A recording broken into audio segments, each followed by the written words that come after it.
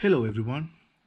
In this video, I'm going to demonstrate you a point of sale app designed for Android devices uh, available to download on a website called mypos-app.com. It's a straightforward download from the website. There's nothing to register. Um, also, there are no membership fees or ongoing fees. Uh, and the app works 100% offline. Uh, you download the app, the data is stored on the device, uh, and it's yours. The website kind of explains all the features and functions uh, using videos and screenshots, but I would recommend you download the software and uh, give it a try. So I have already installed this software on my phone um, and I'm using an 80 millimeter thermal receipt printer with a Wi-Fi interface uh, for this demo. I don't have any uh, cash drawers attached to it but you have the option to open the cash drawer manually or the software will open the cash drawer uh, when you when you print a receipt. Uh, the software is straightforward got only four pages to work with. Uh, it displays the the menu. Uh, here it displays the sale. Here it displays the cash flow or the number of transactions transactions that you have done on a daily basis or on a weekly monthly yearly based on the the, the period that you choose. Uh, but pretty much this is an option where you check let's say for example today how much uh, cash card free and other items that you have sold with the total kind of you know it's your cash flow for the day.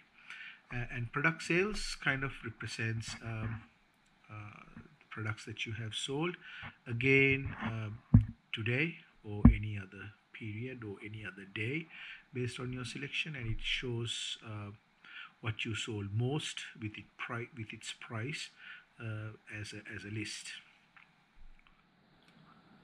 Let's go ahead and make a sale. Uh, I'm going to go ahead and select a cappuccino and as an option I'm going to choose uh, full cream and then uh, I'm to select a banana bread. So if you uh, tap on this uh, floating basket we call it like you know three items that you have already selected or swipe right you go to your um, sales page. So it shows you your cappuccino with full cream banana bread. And if you wanted to increase the the quantity you can go in here. You can go back and select another banana bread or you can go here and make the quantity two.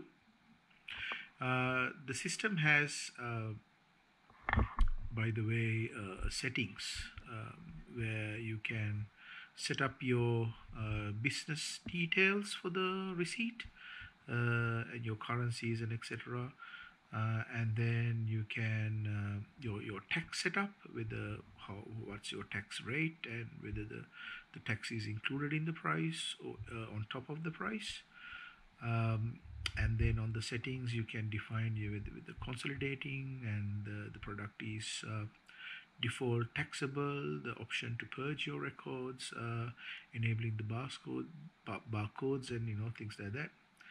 Um, and then you can go into IP receipt uh, printer setup where you put your IP address of the printer and you connect so that the status will display whether you have any issues or you have success successfully connected to your IP printer.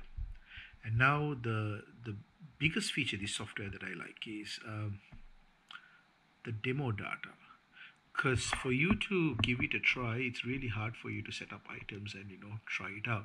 But here the software is giving you um, four uh, uh, four kind of you know whether it's a, a, a cafe or a bakery retail shop or a grocery shop four varieties or four types of businesses uh, to choose so that it can load a sample menu uh, kind of gives you a head start to give it a try uh, the system has a, a, security feature in few places where you might need this uh, password, four-digit password.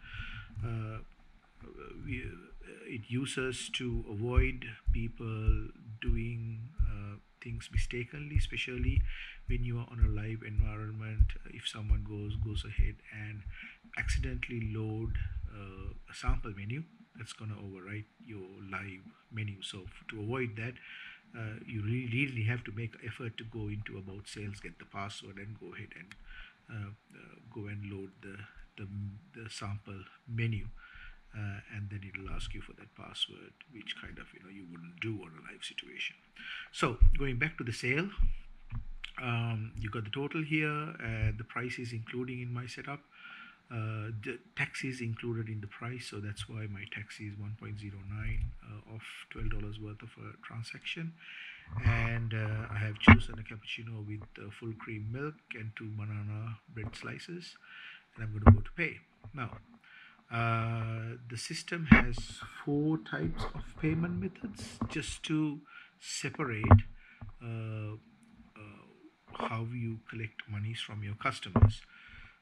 Um, this the there are options or there are future uh, options to integrate your card transactions with uh, uh, card transactions with uh, Stripe. I just lost the word there. Um, and uh, also, you know, uh, there won't be any PayPal integrations, but Stripe is a possibility uh, and then you can choose free items which is something that you might want uh, particularly to know how, how many items that you are giving out for free or any other mode of payment like vouchers and things like that. You can put them through as other so that you can kind of quantify what you what you sell on which type of uh, payment. Um, there, the two buttons here represents your receipt printing of your receipts and docket uh, if you want to disable them both uh, by default you can choose that on the setup. Uh, but in my setup uh, in this demo I'm gonna enable them both so that I can show you what a docket and the receipt looks like. You can open the cash drawer manually on the bottom button here but uh, when you press pay um, open the cash drawer anyways. So I'm going to go ahead and press pay and let it print the, the, the docket and the receipt so the docket's going to looks like that. It's it's what it's all you need. Um, you got the the business details you got the receipt the items uh, and the mode of payment with uh, tax receipt mentioned.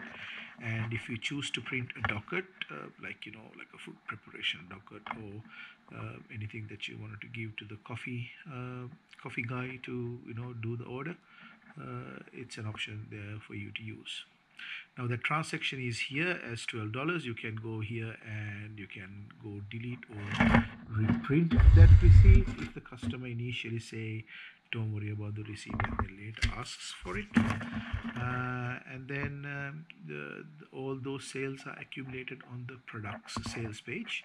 So uh, at the end of the day you can check your cash flow of how much you have done and then just to give you an idea of what makes most the money or you know what are you selling most or not selling at all to to uh, figure out whether you want to still keep a particular item on the shelf uh, or not uh, it's it's there for you to use.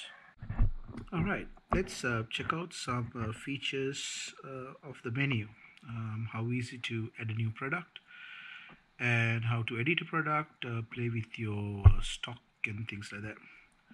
To add a new product, you simply press the bottom uh, button to add a new product.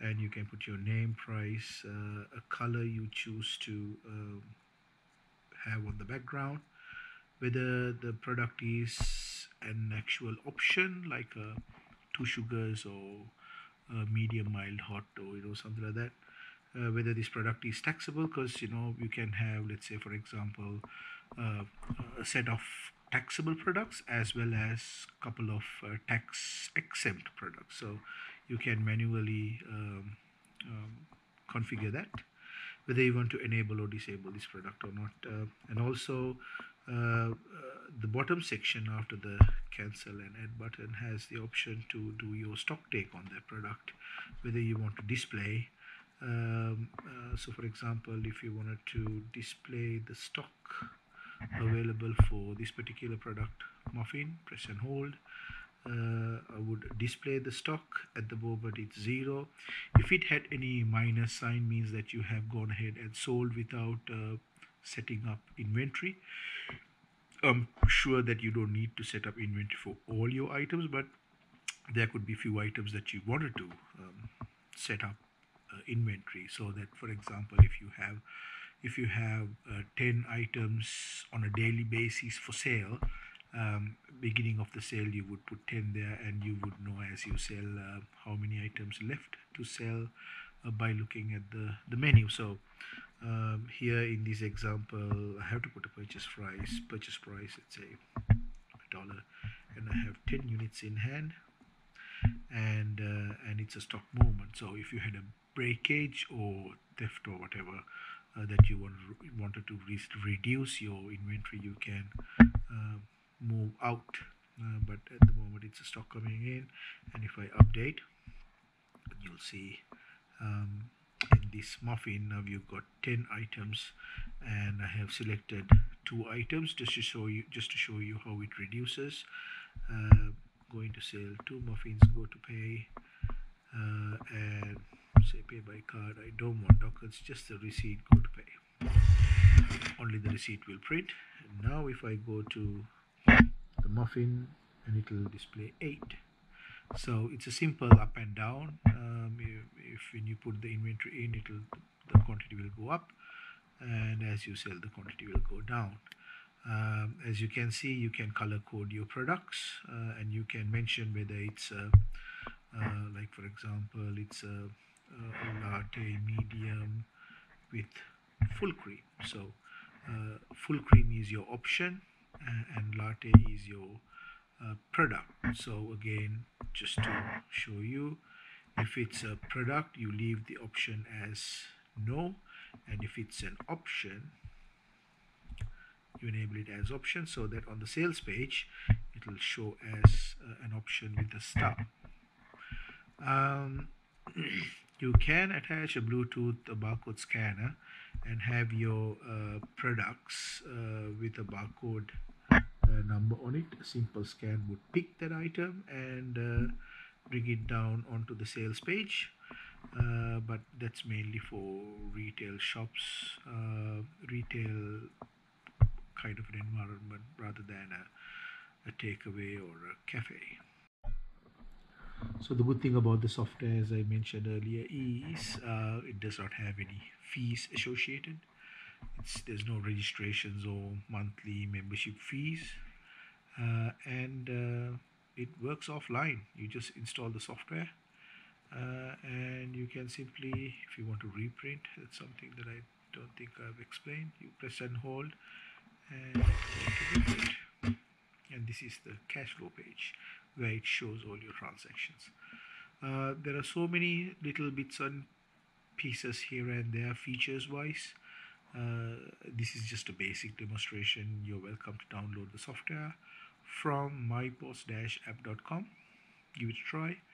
And uh, like us on this uh, uh, video put your comments on you know if you have new features that you would uh, recommend. Uh, love to hear from you. Thank you